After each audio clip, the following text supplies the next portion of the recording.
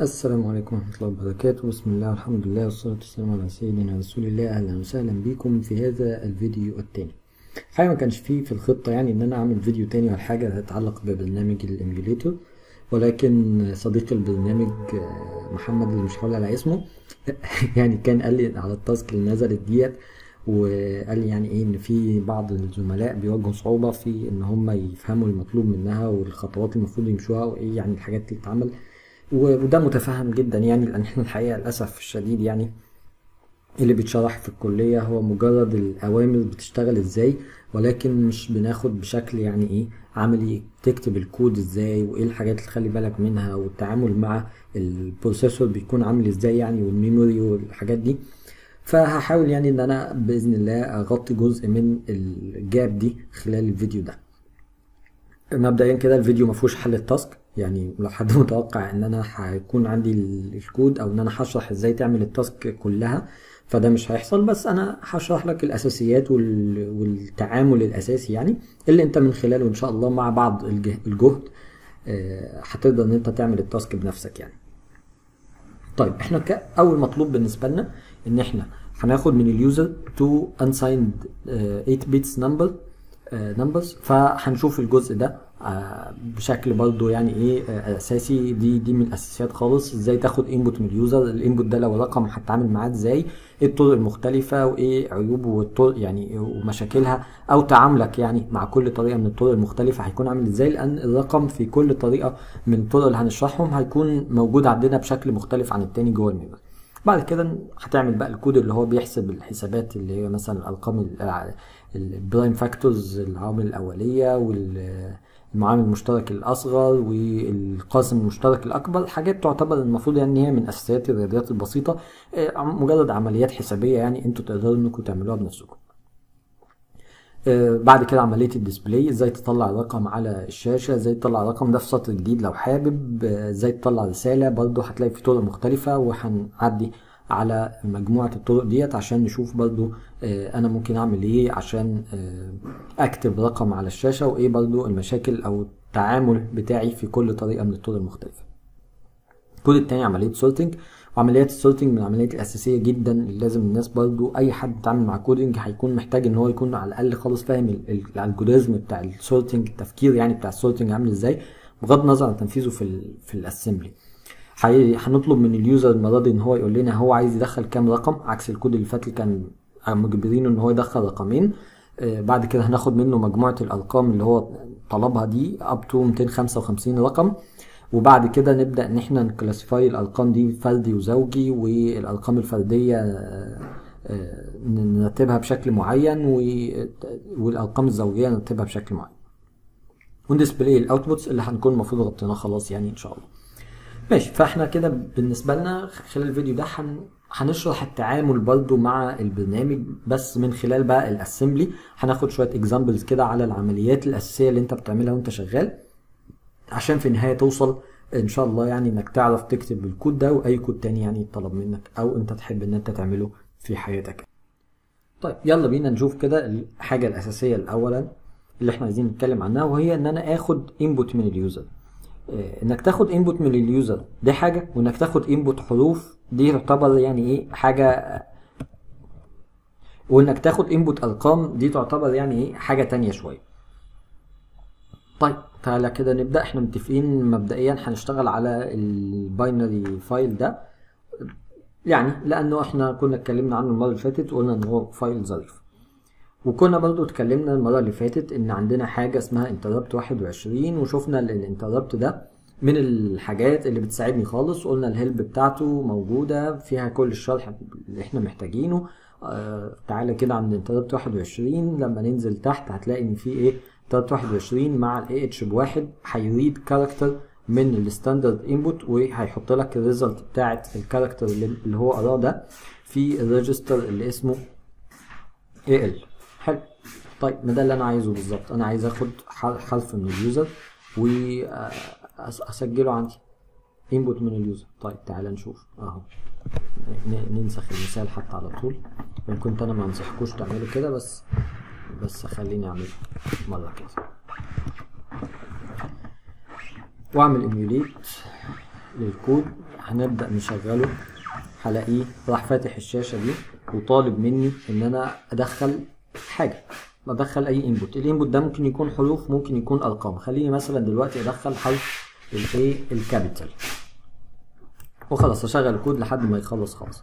اللي حصل دلوقتي إن هو خد حرف ال A capital ده حط فيه ال AL الحرف ال A capital ده حط 41 hexadecimal بس إحنا لو جينا فتحنا ال ASCII table زي ما كنا اتفقنا المرة اللي فاتت هتلاقي 41 hexadecimal هو حرف ال A capital حلو. يبقى هو ده فعلا بياخد الحروف اللي أنا بديها له و أو الحاجة اللي أنا بديها له ويخزنها في ال AL طيب أنا عايز رقم مش عايز حرف. خلينا نجرب مرة تانية. واشغل الكود وأقول له مثلا رقم واحد. هتلاقيه كتب في ال- ال memory في اللي بتاعته 31 ليه كتب 31 لأن هو بيكتب ال ASCII table. هتلاقي رقم واحد هتلاقي أهو رقم واحد أهو. بال hexadecimal 31 وبالتالي هو كتب 31 طيب أنا عايز الرقم ده آه، عايز الرقم ده أخده أسجله عندي في ال memory. فلو سجلته عندي في ال memory هتسجل 31 hexadecimal وأنا مش عايز 31 hexadecimal. أنا عايز آه، عايز 31 بس آه، عايز واحد رقم واحد بس يعني اللي هو hexadecimal و decimal هو نفس الحاجة. فبروح أعمل له sub ليه عملية الطرح يعني؟ واقول له يطرح من ال AL ده آه، ال- ال hexa ال ASCII code بتاع رقم صفر عشان آه، رقم صفر هو إيه آه، لو بصينا في ال ASCII table كده مرة تانية هتلاقي ان رقم صفر هو 30 hexadecimal فبالتالي اي حاجة اي رقم من صفر لتسعة هو يدخله لي. لو أنا طرحت منه ال 30 دي هيتفضل لي الرقم اللي أنا عايزه بالظبط. لو طرحت 30 هيبقى صفر لو طرحت 31 آه، لو هو مدخل لي 31 طرحت منها 30 يبقى الواحد الاثنين الثلاثه لحد التسعة يبقى العملية كده كويسة ومظبوطة. يبقى أنا لما أخلص السطر ده هيكون عندي في ال AL واحد بس مش 31 hexadecimal اللي هو بال decimal يعني 48 تعالوا نجربها مرة تانية. أهو. فعلا بقى أنا كده عندي في ال AL رقم واحد بس. طيب. أنا عايز آخد من ال user رقم أكبر من تسعة. يعني دلوقتي متاح عندي بالطريقة دي إن أنا آخد رقم من صفر لتسعة وأشيل منه ال AL دي فهيبقى عندي كده هشيل منه ال- ال- ال ASCII بتاع الصفر اللي هو ممكن تكتب 30 hexadecimal تكتب ال ASCII بتاع صفر اكتب زي ما أنت عايز. بس يعني إيه أنا قلت بدل ما أكتب 30 hexadecimal أكتبها بالطريقة دي عشان برضو لو حد كان ناسي إن هو لو عمل كده بي- بيحسب ال ASCII يبقى يفتكر. طيب أنا عايز آخد رقم أكبر من 200 خم... أخ... أكبر من 9 ايا كان. هو مثلا أنا مطلوب مني في ال task إن أنا آخد رقم 255 من 0 ل 255 رقم 8 bit آه، ورقم دلوقتي من 0 ل 9 وأقل من 8 bit فبالتالي أنا محتاج أعمل العملية دي كذا مرة آه، كمان. في الطريقة اللي هي مش ذكية خالص إن أنا أروح واخد السطور السطرين بتوع إن أنا آخد input من ال user ده وأروح آه، مكررهم مرة كمان. وخلينا حتى ناخد عملية الطرح دي كمان بالمرة. ليه ما ما ناخدهاش؟ ناخدها. بس كده. وبعد كده أقول له emulate وأعمل run أخدت رقم واحد وأخدت رقم اتنين. وأدي فعلا رقم اتنين اتخزن في ال AL بس خلي بالك أنت عملت غلطة فظيعة جدا. إن أنت نسيت رقم واحد اللي فات. ليه؟ لأن أنت كتبت جوه ال AL كل ما تستدعي ال interrupt 21 مع ال AH بواحد ال interrupt 21 بيعمل إيه؟ بي بيخزن الناتج في ال AL طيب الرقم واحد اللي كان من شوية راح خلاص. طيب وبالتالي يبقى أنا محتاج أخزن الرقم ده الأول قبل ما آه،. آه، أنقل إن أنا آخد الرقم الجديد. وخلينا مثلا أسجله في ال memory location اللي اسمه واحد اتنين تلاتة أربعة hexadecimal هحط جواه ال AL أو يعني إيه بلاش الأرقام الصعبة دي خلينا أقول ألف. ألف بال hexadecimal يعني واحد تلات اصفار هخزن جواه الرقم اللي هو في ال وبعد كده آجي المرة اللي بعدها وأروح مخزنه في ال location اللي هو بعديه على طول. ألف واحد وبعد كده أشوف. آدي رقم واحد آدي رقم اتنين. خلصنا. لو جيت بقى هنا فتحت ال memory بتاعتي رحت للوكيشن اللي هو ألف هتلاقي فعلا رقم واحد متخزن زي ما انت عايز رقم اتنين متخزن زي ما انت عايز. يبقى أنا كده باخد أرقام بسجلها من المستخدم آه، جوه ال memory بتاعتي ولكن آه، لسه مش بعمل حاجة صح. ليه؟ لأن أنا كتبت هنا رقم 12 آه واحد اتنين ده decimal بالنسبة لي 12 إنما هنا متخزنين كل واحد لوحده في memory location وده مش مظبوط. بس خليه خليه دلوقتي كده شوية وخلينا ناخد آه، طالما إحنا عايزين ناخد رقم 8 bits يبقى نعمل العملية دي. مره كمان؟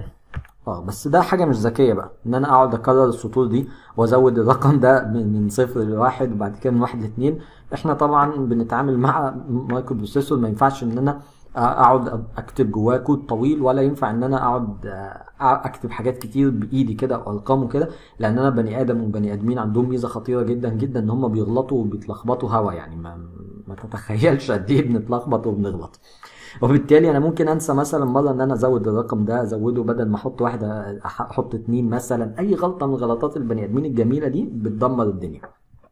بالتالي ما ابدا إن أنا أعتمد على بني آدمين في, في اللي أنا بعمله. حلو. تعالى هنا. يبقى أنا عايز أعمل آه، loop خلينا مثلا نسمي ال loop دي input بدل ما نعتمد على البني ادمين نخليه هو يكرر العملية بتاعته آه، بشكل آه، تلقائي. طبعا المفروض إن أنا يعني أنا مبدئيا كده أي حد عايز يشتغل لازم يكون مذاكر تخيلوا؟ لو عايز تكتب كود لازم تكون مذاكر اللغة اللي أنت بتكتب بيها الكود حاجة خطيرة جدا يعني معلومة مش عارف إزاي كانت غايبة عننا قبل كده. بس لازم تكون مذاكر الأوامر كويس قوي بخصوصا ال string operations يعني ال string operations من الحاجات اللي هت يعني هتساعد عليك هتساعدك جدا تسهل عليك جدا خصوصا في ال task التانية مش الأولانية. ماشي المهم آه خلينا نقول عايز اعمل loop. فبالتالي أمر ال loop عشان يشتغل بيحتاج ال CX يكون فيه عدد المرات اللي أنا هعمل فيها ال loop. هقول له 3 وكوني كتبت 3 كده ما كتبتش وراها H hexadecimal يبقى دول 3 بجد. وحتى لو كتبت H هيبقوا hexadecimal بس هم 3 برضه ولكن يعني لازم تكون بتفكر نفسك بالحاجات دي حتى لو انت عارفها آه مسبقا. ماشي. يبقى أنا في جيت هنا قلت عزلت السطر ده بره ال loop. ليه؟ لأن أنا بحط جوه ال AH بواحد ال AH قيمته ما بتتغيرش. بالتالي ما ينفع ما فيش داعي إن أنا أخليه جوه ال loop هنا لأن هفضل بستهلك processing power كل مرة أجي جوه السطر ده أروح ناقل ال AH بواحد لما هو أصلا كان بواحد يبقى عملية ملهاش داعي. حطيت ال CX التلاتة. دايما بتفكر هعمل عملية. إيه الخطوات ال initialization بتاعتها؟ التجهيز اللي أنا عايز أعمله أعمله قبل العملية مش جوه العملية. جميل. هدخل آخد ال- الرقم من ال user هطرح من الرقم ده الصفر بتاع ال hexadecimal آه، بتاع ال ASCII معلش. وبعد كده عايز أخزن الرقم ده. خلينا بقى بدل ما بنخزن الرقم ده في location كده إحنا كاتبين رقم ونستخدم register عشان آه، عشان نشاور عليه. وليكن مثلا خلينا بنكتب كله سمول يبقى كله small DI وهاجي هنا أقول له move DI 1000 hexadecimal وبعد كده هقول له إيه؟ Increment DI بعد كده أقول له إيه؟ loop input. يعني ده اللي في بالي دلوقتي وفكرت فيه ومتخيل كده إن هو هيكون كافي إن هو ياخد ثلاث أرقام ويخزن الثلاث أرقام دول في ال memory. احتمال أكون ناسي حاجة أكون غلطان بس أنا فكرت وده اللي إيه، تفكيري آه، وصلني ليه. ما تسيبش خطوة أنت وصلت لها إلا لما تجربها وتتأكد إن كل اللي أنت عملته ده مظبوط وبيشتغل حلو زي ما أنت عايز. وبعد كده تنقل للخطوة اللي بعدها. طيب خلينا نعمل run لل code. أنا عايز أكتب 123 قال لي خلاص ال emulator halted تعال نفتح ال memory view memory. أروح ال location اللي هو الاوفست بتاعه 1000 أشوف أدي الواحد أدي الاثنين أدي الثلاثه دول مش 123 دول واحد في location لوحده اتنين في location لوحدها ثلاثة في location لوحدها تالت. طيب يبقى أنا كده بنعرف ناخد input من ال user بعرف أخد ال input ده على كذا bit ما في ما عنديش مش على كذا بايت قصدي معلش ما عنديش مشكلة. باخد الأرقام وبتعامل مع الأرقام دي آه كويس. ولكن آه مش كويس قوي لسه ناقص إن الرقم اللي هو دخله لي ده آه داخل كل رقم في بايت لوحده ومش داخل مرة واحدة. وده سهل خالص إن أنت تحله. إزاي سهل خالص إن أنت تحله؟ أول خانة الميات تاني خانة العشرات تالت خانة الأحاد. فبالتالي انت ممكن تقول له move وليكن مثلا ال الحاجة اللي آه آه الحاجة اللي ال DI بيشاور عليها. يبقى أنا كده هنقل مين؟ DI DI بيشاور على مين؟ ده بيشاور على ال location اللي اسمه ألف غلطان. تعمل مصيبة دلوقتي. ليه؟ لأن ال DI زاد ثلاث مرات هنا. تعالى كده نفرجك. أهو تعالى نشغل كود. واحد اتنين تلاتة. خلصنا لو أنا جيت على طول هنا في السطر ده وقلت له انقل الحاجة اللي ال DI بيشاور عليها متخيل إن ال DI بيشاور على رقم أول خانة زي ما أنا كنت عايز. ال DI بيشاور على 1003 اللي هو مين في ال memory بتاعتنا؟ تعال نشوف كده. اللي هو ال location ده اللي هو فاضي أصلا ما فيهوش حاجة. ليه؟ إن هو بيزيد أنا بزوده كل مرة بعد ما أعمل العملية بعد ما أخزن في ال memory. وبالتالي هو بيشتغل على اللوكيشن اللي عليه الدور إن أنا أخزن فيه. مم، كلام خطير. على فكرة كلام خطير فعلا ويعني إيه الواحد خلال حياته اللي كتب فيها أكواد واللي راجع فيها أكواد يعني غلطات من دي بقى إيه بال- بالكيلو يعني ما تعدش. فتنتبه قوي قوي طيب يبقى أنا برضو بفكر دايما عايز أعمل عملية لازم أجهز العملية دي. إيه العملية اللي أنا عايزها دلوقتي؟ إن أنا أحول واحد اتنين تلاتة ل 123 العملية دي عشان أعملها محتاج أحط الأرقام في memory location في register معين يعني وأخدهم من ال memory. طب أخدهم من ال memory من فين؟ من ال location اللي هم موجودين فيه اللي هو بداية من ال DI ب 1000 وبعد كده يبقى أنا كده نقلت مين؟ نقلت الواحد اللي هو ال location الأولاني يعني. المفروض بقى أروح أعمل له إيه؟ أروح ضارب الكلام ده اللي هو في الاي ال ده بكام؟ ب 100 طيب أمر الضرب بيشتغل إزاي. تخيل لازم تكون مذاكر. طيب حصل إن أنت مش مذاكر مش حافظ وده طبيعي برضو يعني. عندك الهلب زي ما قلت لك الهلب جميلة جدا جدا جدا آه، في الحاجات دي. تعال نشوف أمر الضرب اللي هو عندك أي مال ومال. طبعا إحنا عايزين المال عادي unsigned multiplication. بيقول لك إيه أنت في ال AX بيكون ناتج ال AL مضروبا في ال operand بتاعك. فلو أنت عايز مثلا تضرب آه، 200 في 4 فبتحط واحد في ال AL والتاني في الأربعة وبعد كده تقول له mul BL طيب أنا عايز أضرب في كام؟ عايز أضرب في 100 خلينا نرجع مرة تانية للكود بتاعنا. يبقى أنا قبل ما أعمل عملية لازم أعمل ال initialization بتاعها. يبقى خليني أقول له مثلا move BL كام؟ 100 حطيتش حرف ال H يبقى مش hexadecimal دي طريقة يعني دي طريقة في إنك تكتب وأنت واخد بالك أنت بتحط حرف ال H وما بتحطوش. طبعا يعني إحنا بني آدمين بنحب نغلط ونتلخبط يعني فظاع. فبالتالي أحسن حاجة إنك تثبت طريقة.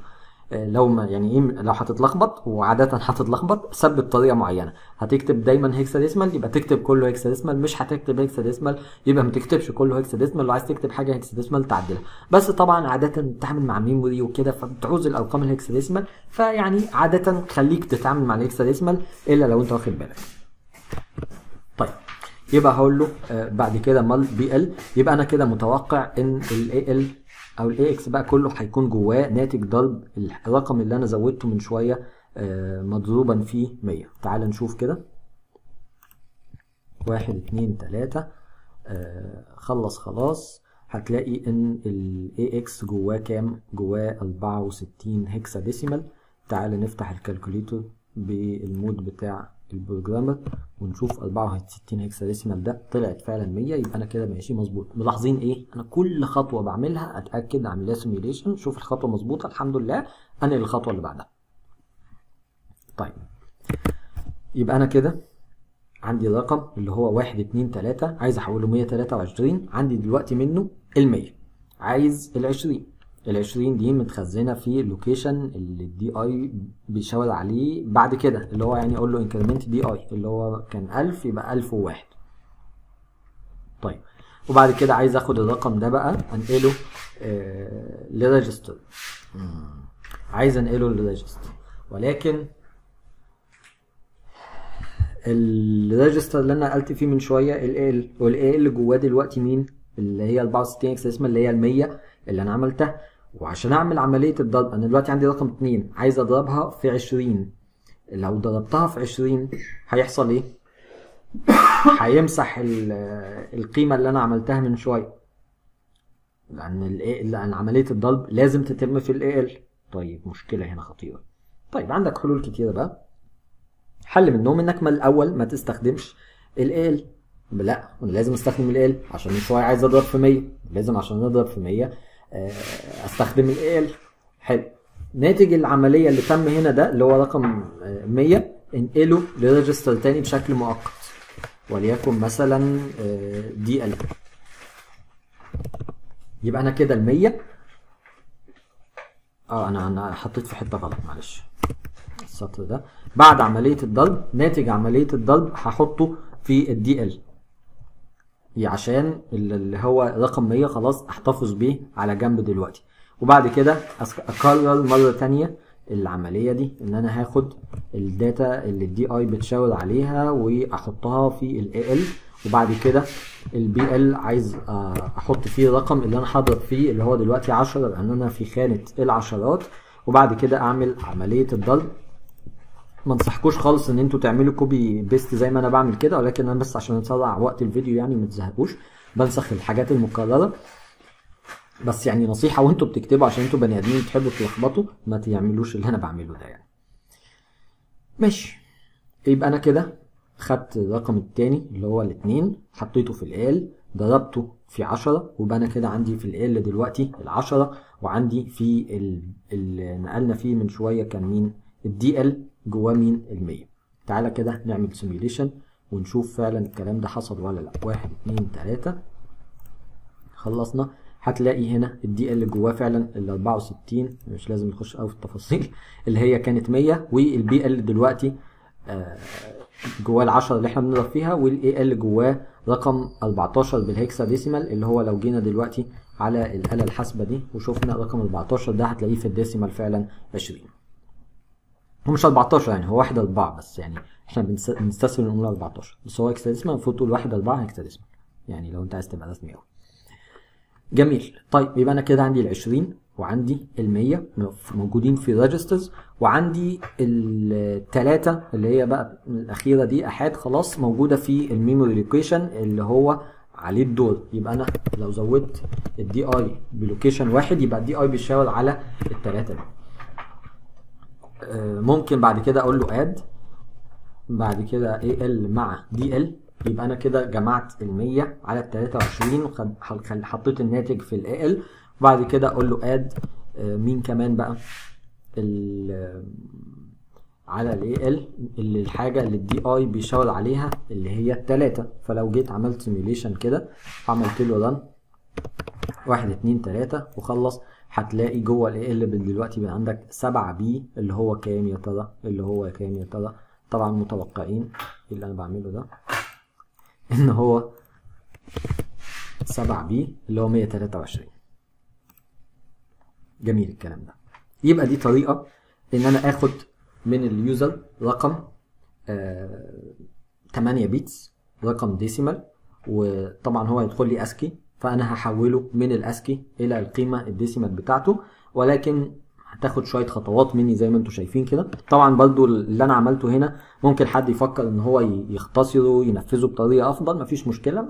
نحاول إن إحنا بس إيه أنفذ كل حاجة بالطريقة اللي هي إيه المباشرة جدا اللي ممكن تخطر على بال أي حد وهو بيفكر هو بيشغل بيسجل فيديو يعني. وأنا لو عملت كده فانا ضامن ان ده يعني إن شاء الله هيكون هو أبسط حاجة ممكنة يعني. وطبعا الناس بقى إيه تحسن هي مع نفسها يعني. طيب دي أول طريقة تاخد بيها input أرقام أرقام decimal وتخلي بالك من الأرقام دي. طيب آه تعالى نعمل لها simulation كده مرة كمان وخليني أكتب مثلا 555 مم، خلي بالك. دلوقتي أنا كان الناتج في النهاية الناتج النهائي بلاقيه هنا في ال AL اللي هو كام؟ 2 B. لو جيت هنا قلت له آه عندي يا سيدي 2 B هتلاقي كام؟ decimal 34 بس أنا دخلت 555 555 دي أصلا رقم أكتر من 8 bits. بس أنا كنت عايز ال user ما يدخليش رقم أكتر من 8 bits. آه. يبقى هنا أنا محتاج آه، أعمل عملية تانية وهي عملية آه، تأكد هل ال input اللي ال user دخله ده بعد ما حسبته كان input مظبوط ولا ما كانش input مظبوط؟ لأن هو لو ما كانش مظبوط أقول لل user خلي بالك أنت عملت حاجة غلط. لو كان ال input مظبوط أقول لل user خلاص كتر خيرك أو يعني أعمل أكمل حياتي بقى زي ما كانت المفروض تستمر. يبقى أنا عندي دلوقتي حاجتين إزاي أتأكد إن ال input اللي ال user دخله input مظبوط؟ ولو ما كانش مظبوط أعمل إيه؟ القرار بقى لحظة اتخاذ القرار وبالتالي محتاجين برضه سبحان الله لما نكون شغالين بلغة نكون مذاكرينها. كنا بنتخذ بنعمل عمليات المقارنة دي إزاي؟ عن طريق أمر ال compare تعال نشوف أمر ال compare كان موجود فين. ادي أهو compare قال لك compare بيطرح ال two operands من بعض ولكن مش آه مش بيخزن الناتج في حتة هو بس بيأثر على ال flags. طيب ليه بس بيأثر على ال flags؟ عشان اتخاذ القرارات. كنا دايما في اللغة الجميلة بتاعتنا دي بنتخذ القرارات إزاي؟ بنتخذ القرارات عن طريق العمليات ال conditional سواء conditional jump أو ال conditional loop أو ال conditional أي حاجة conditional كانت بتساعدنا في اتخاذ القرارات وكانت بتنبني القرارات بتاعتها دي على ال flags فبالتالي أمر ال compare من وال test برضو من الأوامر اللي هي بتساعدنا إن إحنا آه نعرف ال parameters يعني اللي إحنا هنتخذ القرار على أساسها. طيب أنا عايز أ compare دلوقتي. عايز أقول له compare ال بكام؟ ب 255 خلي بالك أنت بتكتب decimal ولا بتكتب hexadecimal لو هو دخل لي رقم أكبر من 255 آه خلاص هيبوظ. الكمبيوتر المفروض يقول لي إن هو ال user دخل رقم أكتر من 255 فبالتالي أتخذ القرار زي ما كنا بنتكلم إن هو أطلع له مثلا رسالة ولا حاجة هنشوف نطلع رسائل إزاي أقول له خلي بالك أنت غلطان أنت دخلت رقم أكتر من 255 لو ما كانش دخل لي رقم أقل من 255 أقول له بقى إيه؟ كان دخل رقم أقل من 255 يعني أقول له هات الرقم التاني. طيب تعال نجرب كده وهنشغل كود زي ما اتفقنا بالحالة السهلة ادي 123 تعال نشوف الفلاجز بتاعتي. طيب أنا دلوقتي طرحت 123 ناقص 255 الناتج بتاعي المفروض إن أنا طرحت رقم صغير طرحت منه رقم كبير فبالتالي أكيد حصل carry. فبالتالي أنا ممكن من ال flags اللي بعمل ال conditions عليها بشكل يعني في عوامل كتير بتعتمد عليها ال carry flag لو طلع ال carry flag بواحد يبقى الرقم ده مظبوط أقل من 255 لو ال carry flag طلع ب zero يبقى الرقم ده كان أكبر من 255 تعال نجرب مرة تانية نشغل الكود ولكن المرة دي أكتب مثلا رقم 300 300 يفترض إن هو أكبر من 255 وبالتالي لما هخش ال flags متوقع إن ال carry flag يكون ب zero. مفاجأة. ال carry flag لسه بواحد. آه. طب ليه ال carry flag لسه بواحد؟ مش عارفين صح؟ تعال نعمل step back كده ونشوف إحنا غلطنا فين. يا ترى. رجعنا هنا بعد السطر بتاع الإضافة ال addition الأخيرة دي. يبقى أنا دلوقتي عندي ال AL جواه الرقم اللي أنا دخلته لل user اللي هو ال user دخله يعني وأنا حسبته من ال memory. تعالى حتى نشوف ال memory. هنروح كده ال location اللي 1000 بيشار عليه. 1000 مش 100 هتلاقي آدي التلاتة وآدي الصفر وآدي الصفر 300 اللي هو دخلهم فعلا موجودين. طيب. هل هم فعلا موجودين في ال AL بقى؟ معلش هتلاقي ال جواه 2 C يا ترى 2 C ده اللي هو مين؟ 2 C 44 ليه يا ترى في 44 المفروض يكون في 300 لا حضرتك أنت غلطان. ال AL ده أصلا ال size بتاعه maximum 255 فهو حصل overflow already ومسجل القيمة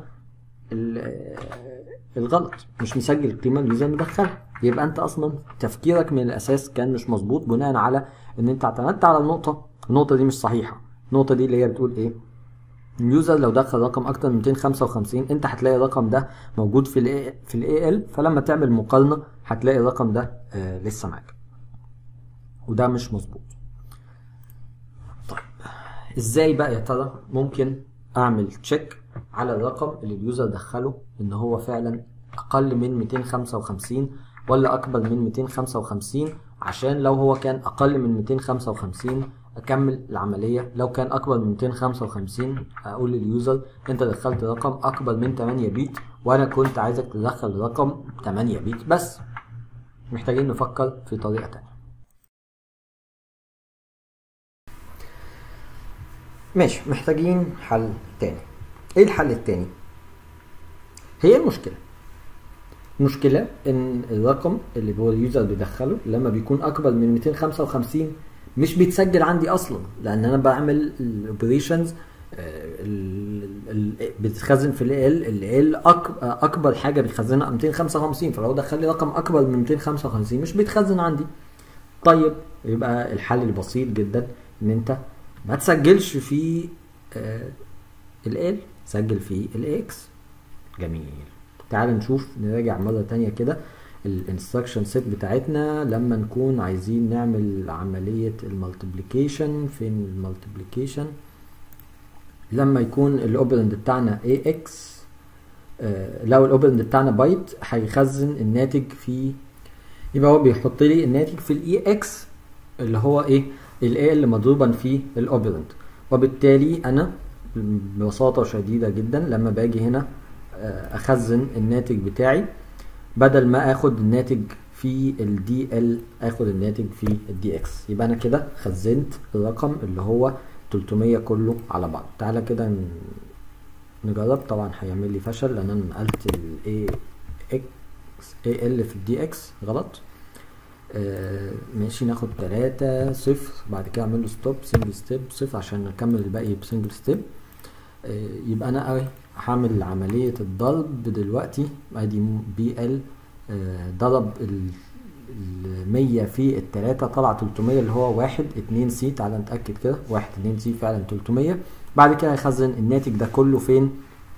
في ال DX يبقى ال DX دلوقتي جواه الرقم اللي هو 300 العملية اللي جاية هيعمل عملية الضرب رقم ال- العشرات هيضرب رقم العشرات ده في آه، عشرة ايا كان الناتج عمره ما هيكون أكبر من 255 فمش هتظهر عندنا المشكلة دي آه، مرة تانية. يبقى ال بالنسبة لي دلوقتي آه، هو رقم هو register كافي يعني.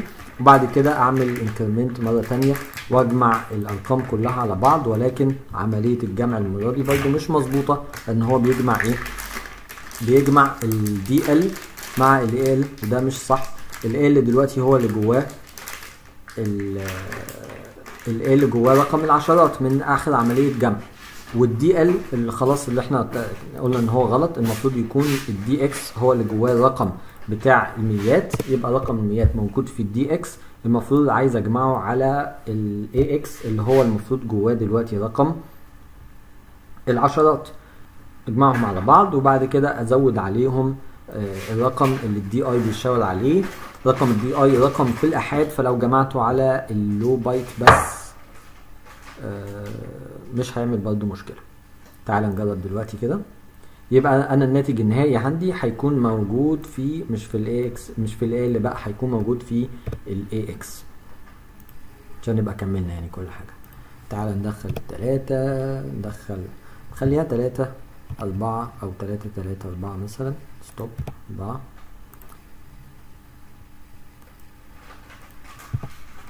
ماشي. بعد كده هيبدأ يضرب أول عملية ضرب يخزن الناتج بتاعها في ال DX اللي هو zero واحد اتنين C اللي هي فعلا تلتمية. بعد كده تاني عملية ضرب اللي هي آه، الرقم التاني اللي هو كان تلاتة في عشرة يطلع تلاتين اللي هو واحد E تعالى حتى نتأكد كده. واحد E فعلا تلاتين. يبقى دلوقتي عندنا التلاتين في ال AX عندنا المية في ال DX لو جمعت عليهم آه، لو جمعتهم الأول مع بعض آه، هيطلع واحد أربعة A اللي هو 330 عايز أزود عليهم دلوقتي رقم الأحاد اللي هو كام؟ في ال DI أربعة. يبقى تلاتة عندنا تلاتة تلاتة أربعة. اللي هو zero واحد أربعة E تلتمية أربعة وتلاتين فعلا. أخيرا بقى دلوقتي لو عملنا عملية ال compare وبعد كده جينا نبص على ال flag هنلاقي إيه؟ إن آه، دلوقتي أنا طرحت رقم كبير ناقص رقم صغير فلا ال carry flag هيترفع ولا ال zero flag هيترفع وبالتالي الرقم اللي هو دخله ده آه، رقم أكبر من 255 فأنا المفروض أعمل error ليه؟ النقطة دي مهمة شوية. دلوقتي هو لو دخل رقم أقل من 255 أمر compare هيطرح. الرقم ده يطرح منه 255 فال carry flag هيترفع لأن رقم صغير ناقص رقم كبير. لو هو دخل 255 بالظبط ال carry flag مش هيترفع. بس ال zero flag هيترفع لأن هو كده 255 ناقص 255 لو هو دخل آه، رقم أكبر من 255 يبقى الرقم الأكبر من 255 ده آه، لا هيعمل carry ولا هيطلع ب zero وبالتالي أنا عايز دلوقتي أشوف condition معين. لو الرقم اللي هو دخله لي ده أكبر من آه، 255 يعني إن ال carry flag وال zero flag آه، يكونوا آه، بصفار. طبعا إحنا عندنا في الأوامر ال conditional jumps لو حد كان مذاكر لو حدش مذاكر يروح يذاكر وبعدين يجي يكمل شغل هتلاقي إن عندك أمر اسمه jump greater than أو يعني الحقيقة مش عارف أنتوا خدتوا لسه الجزء ده في المنهج ولا لأ برضو.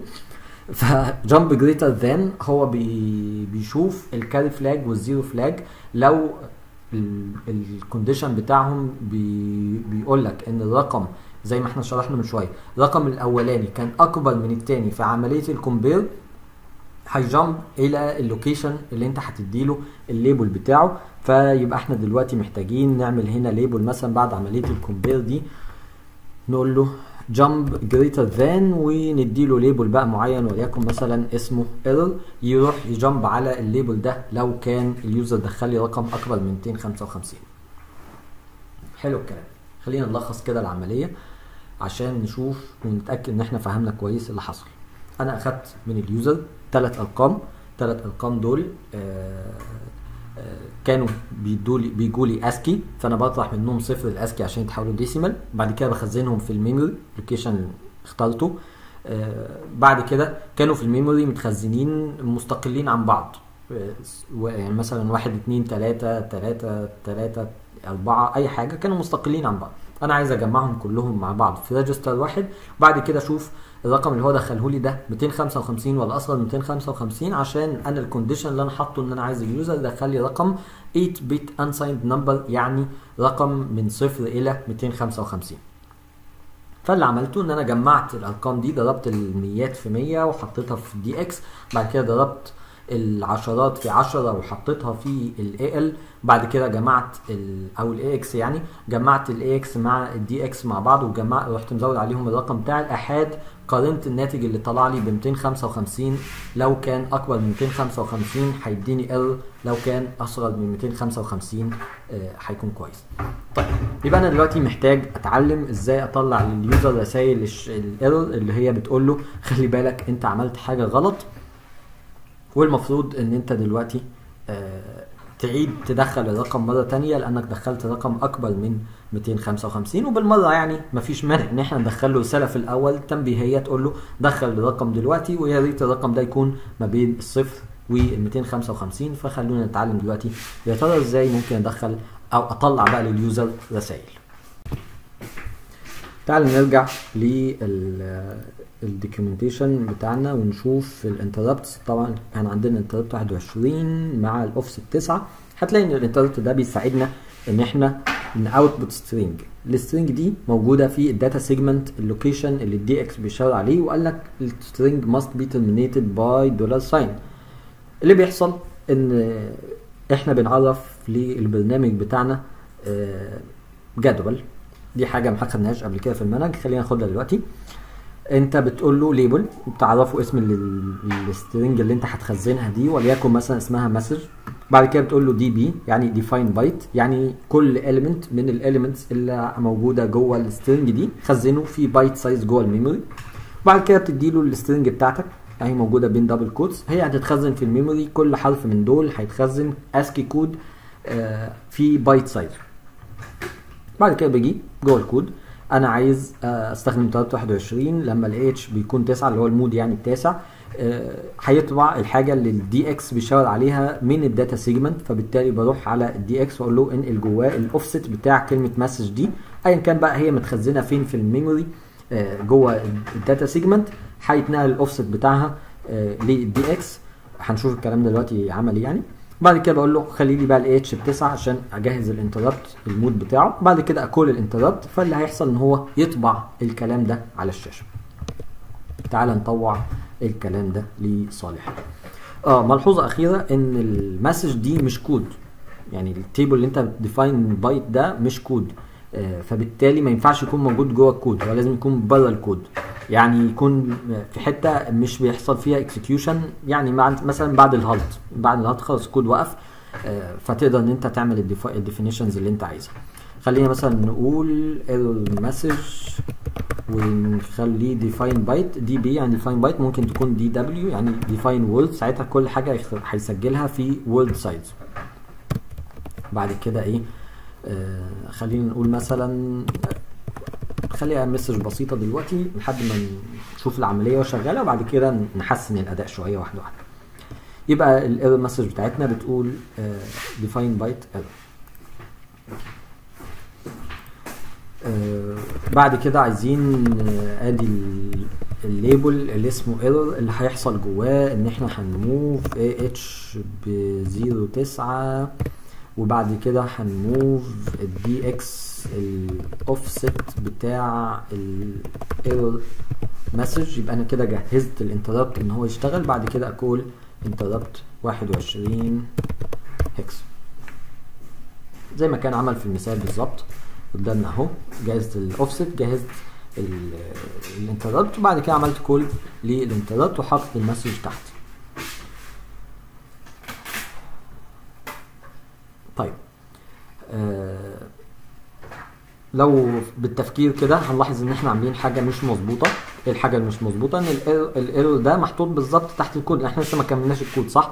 فبالتالي في كل الأحوال هتلاقيه نزل جوه هنا سواء عمل jump لأن هو بي jump على السطر اللي بعده على طول. فخلينا عشان نتأكد بس إن هو مش هي jump على النقطة مش هيروح النقطة دي يعني غير لو هو فعلا خلص إن أنا أعمل بعد ال conditional jump دي jump تانية كده على نهاية الكود عشان بس آه، يعني إيه لأغراض المثال دلوقتي يعني لأن إحنا لسه ما كملناش ال code وال location بتاع ال jump دي مش مظبوط. طيب نعمل run ال code. خليني اولا أدخل واحد اتنين تلاتة شوف حصل إيه. وصل لل halt finish مفيش أي مشكلة ما وقفش في حتة. تعال أعمل له run مرة تانية أدخل تلاتة تلاتة أربعة. طلع لي error إيه بقى ال error ده؟ قال لي ال data اللي أنت حاططها لي في ال address الفلاني ده مش لاقي البايت اللي هي 24 hex after 2000 bytes. وال correct example حاطط لي ال example اللي كان موجود في النت. إيه اللي حصل؟ حصل يا فندم إن إحنا قلنا مع- معلومة خطيره إن هو بيقول إن في بايت هو بيدور عليها. البايت دي لو فاكر الرقم بتاعها أو لو مش فاكر آدي الرقم بتاعها بال hexadecimal اللي هي بتعبر عن ال dollar sign فين بس ال dollar sign أهي 24 hexadecimal. ليه؟ لأن إحنا اتفقنا اتفاق. ال- ال- ال interrupt ده عشان تستخدمه عشان تطبع ال message لازم تكون بتنتهي ب dollar sign لو ما عملتش ال dollar sign هيطلع لك ال error message اللي كانت ظهرت قدامك دي. يقول لك إن أنا عديت 2000 location في ال memory مش لاقي ال dollar sign وبالتالي في مشكلة. أنا هقعد أطبع إلى ما لا نهاية. تعالى نطبع مره تانية المرة دي ونشوف ادي فعلا قال لك إيه؟ Error. يبقى أنت كده عملت حاجة غلط. جميل. يبقى أنا كده مبدئيا بعرف أطبع آه، رسائل على الشاشة بعرف أعمل conditional jump وأشوف آه، بناء على ال condition ده إن أنا أطبع رسالة على الشاشة.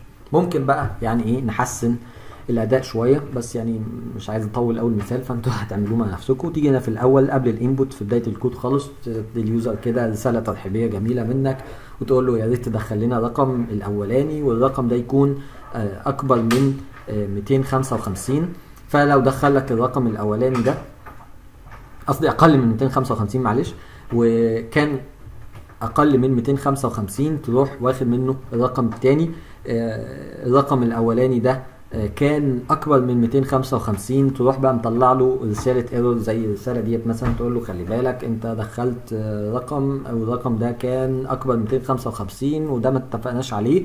بالتالي أعد إدخال الرقم مرة تانية وتروح بقى آه، الزيادة بقى إن هنا هيكون بعد ال jump ده بعد ال interrupt ده طبعا ال error message هتروح بقى عامل له jump على فين بقى؟ على ال input مرة تانية اللي هو بتقول له فيها دخل الرقم الأولاني وتروح مستني منه الرقم الأولاني وتقارنه لحد ما يدخل لك رقم مظبوط أقل من 255 آه، دخل الرقم أو بيساوي 255 دخله تنقل على الرقم الثاني almost هتعيد العملية دي مرة تانية.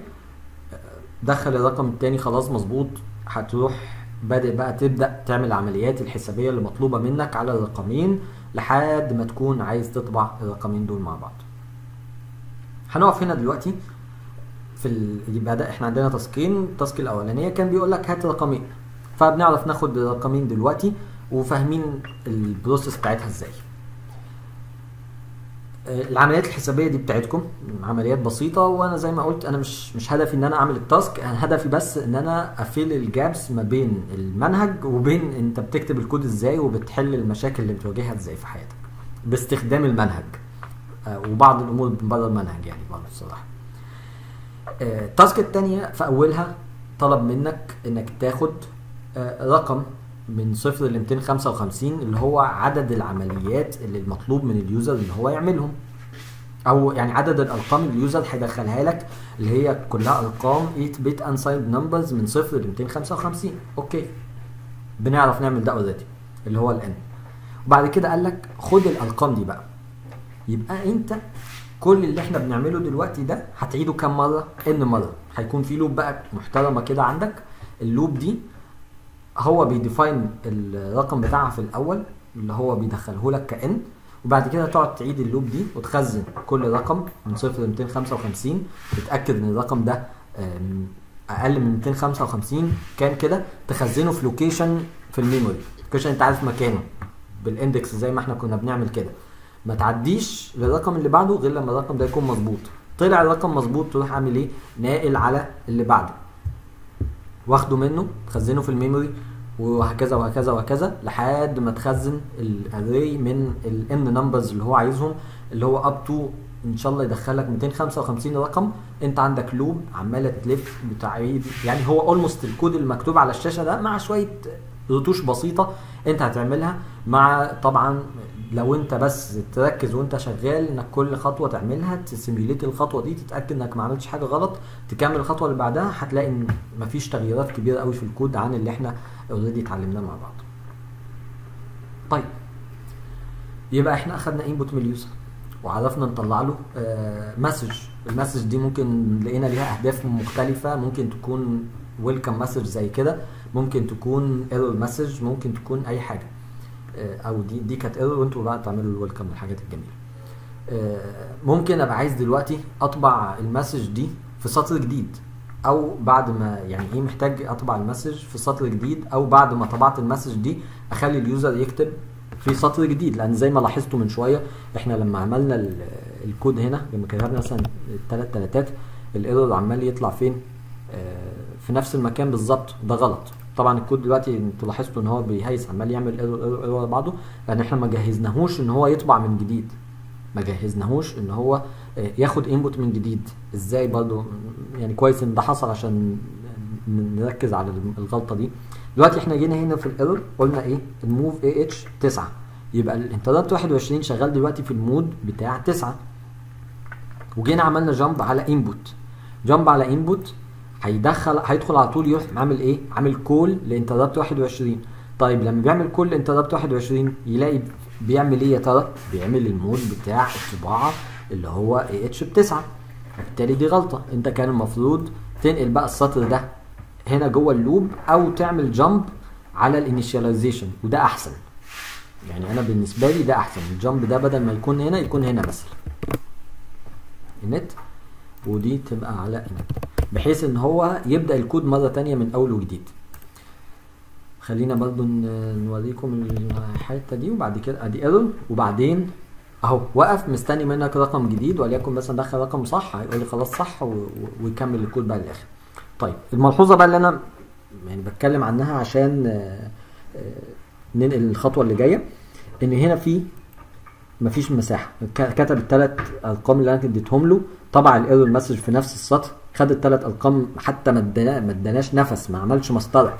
ودي حاجة ممكن تضايق ناس كتير أنا منهم طيب يا ترى إزاي ممكن أخلي ال user أخلي الطباعة دي تطبع لي سطر جديد أظن إن أنا كنت اديت آه طريقة شرحتها حتى يعني ما عملتهاش بس شرحتها المرة اللي فاتت إن أنت بتطبع على الشاشة حاجتين ال ASCII من ال ASCII table اللي هما ال new تي ال new line وال carriage return عشان ينزل سطر جديد ويبدأ السطر الجديد ده من أوله.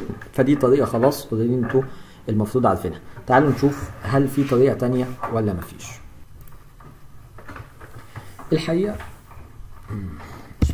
كده. الحقيقة آه في طرق تانية إن أنت تطبع بيها message وال message دي تكون في تنزل مثلا بعدها سطر أو حاجة و- وهي طريقة بقى مش باستخدام ال interrupt هي طريقة جديدة برضه من بره المنهج والحقيقة من بره حتى ال assembly الطبيعي بتاع يعني ال processor ولكن هي حاجة من الحاجات اللي الناس بتوع ال emulator software دول عاملينها وعاملينها كويس قوي. والحقيقة أنا عايز يعني مستغل الوقت ده إن أنا أقولها عشان هنحتاجها كمان شوية صغيرين. إيه بقى؟ تعالى هنا نشوف في ال tutorials هتلاقي إن هم عاملين library اسمها library of common functions اللي هي emu 80 86 dot inc dot include يعني. هتلاقي إن هو بيعرف فيها بعض ال macros هتلاقي في macro اسمه put c put char يعني في في macro اسمه print macro يعني كود هم عاملينه داخلي كده وأنت تقدر إن أنت تستخدم الكود ده على طول. في حاجة اسمها print بتديها string وهي بتطبع ال string دي على طول بدون بقى ما تحتاج إن أنت تعمل interrupt 21 ولا أي حاجة. لو حد يعني إيه تلصص عليهم من جوه هيشوف بقى هم بيعملوا إيه من حياتهم يعني. في حاجة اسمها print n print الحاجة زي ما هي وبعد كده يطبع بعدها ال carriage return مرة تانية وال new line فبيطبع وبعد كده ينزل السطر الجديد.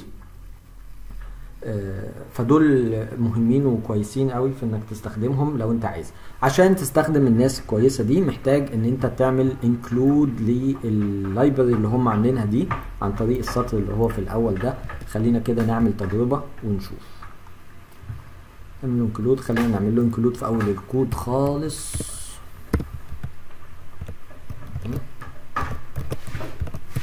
include لل library بتاعتهم. وبعد كده تعالى هنا بقى طريقة مختلفة لل إن إحنا نطبع ال error message وهي إيه؟ إن أنا أقول له print n هنرجع كده مرة تانية. أو خلينا يعني ماشي خلاص يلا ماشي. يبقى هي print string حتى هو عامل لك مثال أهو بيعمل print ويديله ال string دي على طول وخلاص مفيش أي حاجة تانية. تعال نجرب. ولكن أنا اخترت إيه؟ print n فالمفروض إن المرة التانية لما هيطلعني بقى إن أنا أكتب هكتب في new line run خلينا ندخل كده. طلع لي error بعد كده نزلني أكتب الرقم الجديد في new line function جميلة جدا سهلة خالص في التعامل. معاها بتديها ال string على طول وهتعمل بقى define byte و error و message والقصة اللي هي كانت طويلة شوية دي. هم عملوا الكلام ده كله وادوا لك على طول macro بي بي الناتج بشكل كويس. الحقيقة دي function جميلة ومفيدة ويعني حب فيها زي ما انت عايز تحب فيها وهبقى مبسوط منك. ولكن مش هي أكتر حاجة يعني إيه عظيمة هم عملوها في حياتك لما عملوا ال library اللي هم عملوها دي. اللي أنت لو نزلت تحت شوية هتلاقي مجموعة من ال procedures بقى اللي هي يعني حاجات أكبر شوية من ال macro زي كأنها كده function يعني بتعمل لها call وأظن أنتوا خدتوا في المنهج يعني إيه procedure أو لو ما خدتوش هتاخدوها إن شاء الله. مش عارف مش عارف بس أنتوا واقفين فين في المنهج دلوقتي. خلاصة يعني ال procedures دي مفيدة جدا أكتر كمان من ال function بتاعت ال print اللي إحنا already أصلا عملناها من غير عملنا الوظيفة بتاعتها من غير ما نستخدمها يعني ولو كنا عايزين نعمل print ال new line و carriage كل حاجة كنا عملناهم برضو باستخدام ال interrupt مفيش أي مشكلة. الحاجة بقى اللي هم بيدوها لك وإنك تعملها مش باستخدام ال interrupt صعبة شوية هي الطباعة. أنت دلوقتي سواء في ال task دي أو ال task الثانية مطلوب منك طباعة يعني قصدي طباعة الالقاب آه دي دي بقى التحدي الحقيقي. ليه؟ انت دلوقتي آه خدت لما كنا بناخد الرقم كنا بناخد الرقم من ال user على إن هو ASCII وبنبدا نتعامل مع الرقم ده آه، تعامل يعني طويل شوية إن أنا باخد الرقم أطرح منه صفر ال ASCII أخزنه آخد ثلاث digits مع بعض أضرب الميات في 100 العشرات في 10 أجمع أشوف هو 255 ولا لأ. الرقم اللي متخزن عندي في ال memory بعد العملية الطويلة دي بعد مثلا ما حسيت بقى يعني في ال task التانية مثلا رتبتهم قسمتهم آه، فردي وزوجي مع رتبت الزوجي ورتبت الفردي عملت كل الحاجات. عايز أطبع بقى الأرقام. الأرقام متخزنة في ال memory decimal مش ASCII. صح؟ أو يعني hexa أي حاجة. المهم إن هي مش ASCII. يعني مثلا تعالى كده نبص. على المثال بتاع الكود اللي إحنا عاملينه ده لو أنا كتبت واحد اتنين تلاتة كنا بنعمل إيه؟ الكود أهو عمال جمعت الأرقام خزنتهم كلهم عملتهم compare طيب لما بيجي عن compare ال AX دلوقتي جواه إيه؟ جواه 7 B اللي هي واحد اتنين تلاتة. لو أنا عايز أطبع واحد اتنين تلاتة دي مرة تانية على الشاشة بعد ما عملت بقى العمليات طلع الناتج متخزن في location في ال memory أو جبت الناتج حطيته في ال AL آدي الناتج في ال AL عايز أطبع بقى عليه آه عايز اطبعه على الشاشه ويطلع 123 لو أنا جيت دلوقتي آه قلت له آه اطبع لي بقى الرقم يعني اللي هو مش م- اللي هو 123 ده ه- ه- هيطلع حاجة غريبة. تعال نشوف الحاجة الغريبة دي وبعدين نفكر آه، هتطلع هنعمل إيه. يعني من باب الفول فن الصراحة يعني. تلات واحد وعشرين اتنين. آه انت تلات واحد وعشرين لما الاتش بيكون اتنين بي بي بيرايت كاركتر الستاندرد اوتبوت واللي هو الشاشة السوداء اللي إحنا بتاعتنا دي. وال standard out ال character ده بيكون موجود فين؟ بيكون موجود في ال DL ودي بالمناسبة يعني الطريقة اللي انت بتطبع بيها ال carriage return وال new line انك تحط ال ASCII بتاع ال carriage return تعمل INT 21 تحط ال ASCII بتاع ال new line في ال DL وتعمل 21 new line ثم carriage return طيب. تعالى هنا. بعد ما عملنا العملية دي تعالى بقى عايز أقول له إيه؟ موف اي اتش بكام؟ صفر اتنين. موف دي ال حاجة اللي في ال بعد كده انت ضربت واحد وعشرين. صح كده؟ زي المثال أهو حطينا ال اتش دي ال حطينا فيها الداتا اللي إحنا عايزين نطبعها اللي هي كانت المفروض تكون مية تلاتة وعشرين. مية تلاتة أو مية تلاتة وعشرين أهي.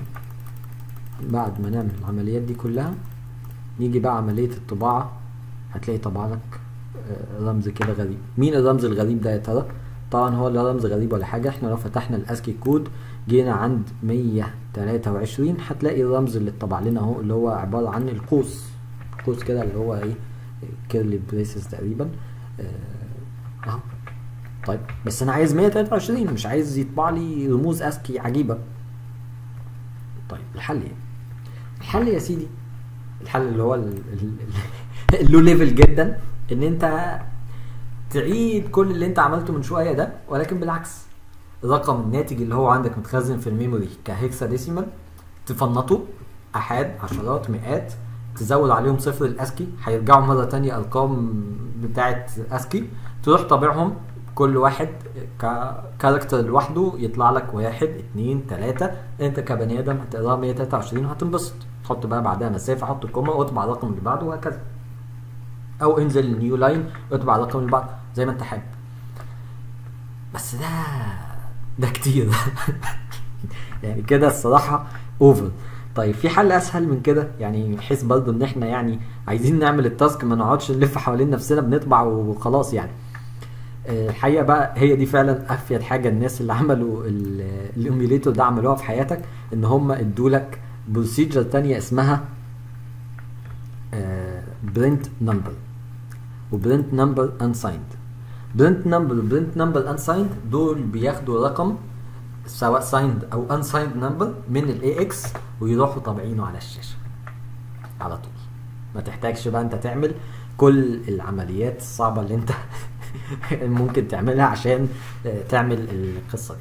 والحقيقة يعني برضه أنا عايز أكون آه، صريح معاك. هم عاملين برضه procedure تانية اسمها scan number دي بتاخد رقم بس الحقيقة يعني إحنا ما استخدمناهاش لأن هي بتاخد signed number وانت عايز unsigned number هي بتاخد الرقم في word size وانت عايز الرقم في byte size فبالتالي آه، ما استخدمناهاش.